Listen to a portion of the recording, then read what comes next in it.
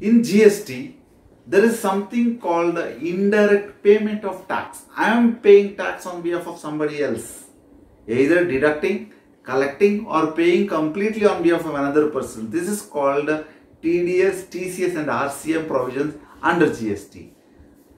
TDS is mentioned in section 51, rule 66 of CGST Act. TDS is being deducted by government agencies or government departments or a board or authority set up by the government having 51% stake by the government like the state government, central government or a local authority.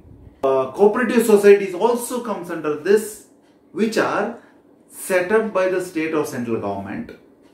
Public sector undertakings of course they are also called uh, state government authority or state government or central government or local authority all these people come under section 51 rule 66 wherein they have to deduct tds on a contract value above rupees 2.5 lakhs. To deduct tds at the rate of 2 percent? 1 percent sgst 1 percent cgst if it is an interstate transaction then it is 2 percent igst for every payment or part payment or full payment. Contract value should be about 2.5 lakhs. Another conditions where TDS applies is the recipient of supply and place of supply should be within the state. If it is a different state, then it's a kind of exception.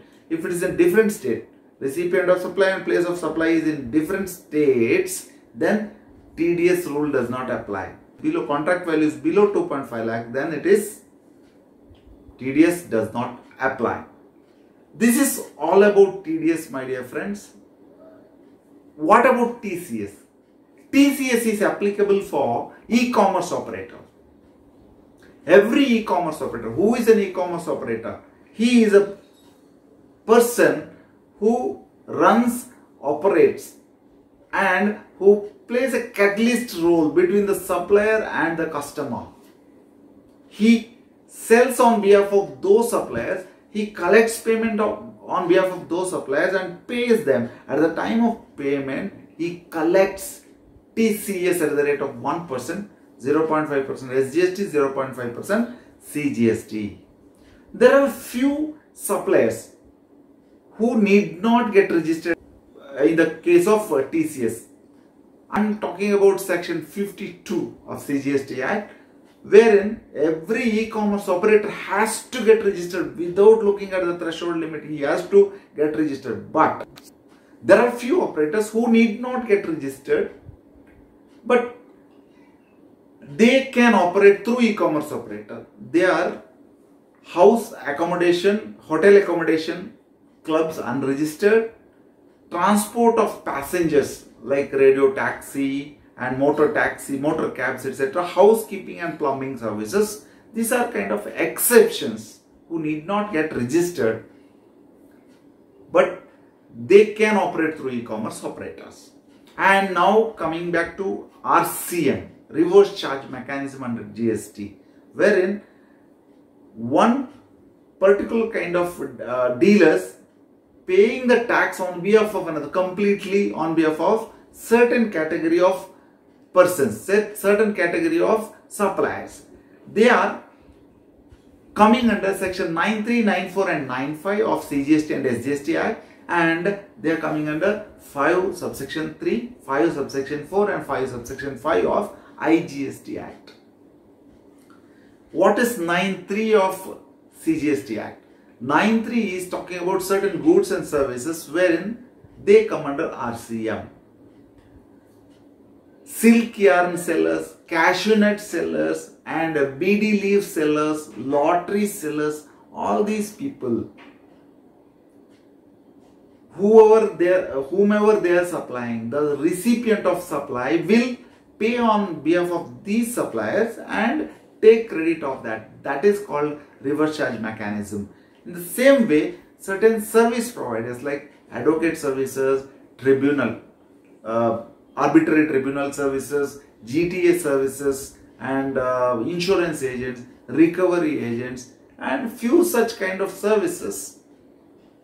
They also need not charge the recipient of supply. The recipient supply can pay on behalf of them and take credit.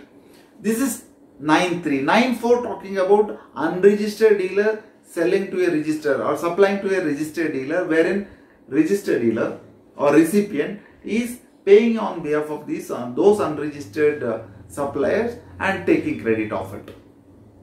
And 9.5 this is similar to the TCS provisions wherein certain kind of uh, service providers like hotel accommodation and uh, motor cab services, passenger services, passenger carrying passengers and also there is one more category of services like housekeeping, uh, carpentry and plumber services. These kind of service providers come under RCM under section 9.5. I am not going to discuss about the direct taxation TDS and TCS provisions coming under 194Q for the buyers and 206 1H 206C 1H in the case of uh, sellers TCS. I am not going to talk about that now. Let us discuss in the coming video. Myself Subramanya. Thank you for listening to me. Thank you. I have placed a slide here. You can make note of the points and take screenshots also for your ready reference. It has all the information whatever I discussed so far.